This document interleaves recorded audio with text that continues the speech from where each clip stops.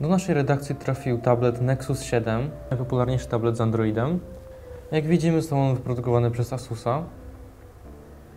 Jest on nieco ubogi w różne łączności, ponieważ ma tylko wejście micro USB, standardowo oczywiście mini jack oraz e, z boku złącze Pogo.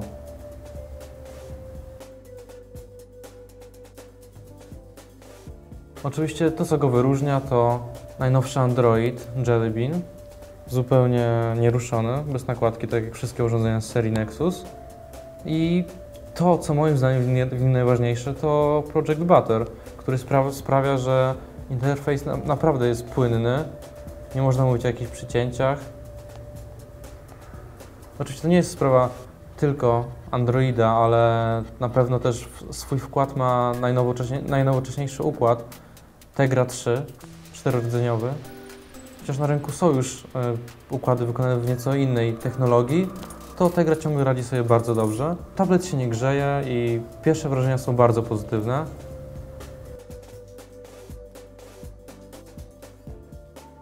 Znane z Androida są poszerzane e, powiadomienia, czyli na przykład gdy dostaliśmy maila, przyciągając dwa palce możemy przeczytać jego treść. Jak widać, piksele nie są widoczne, ta rozdzielczość jest naprawdę wystarczająca. Kolejną cechą nowego Androida jest Google Now.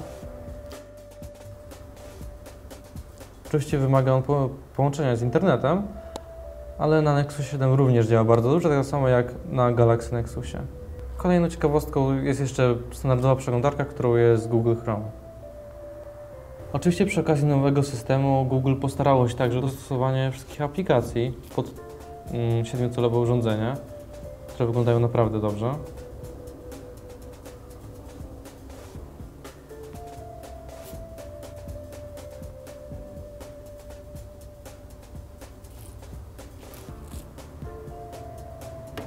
I tak jak reszta, systemu, wszystko to jest naprawdę płynnie. Nie ma żadnych spowolnień i naprawdę nie ma na co narzekać.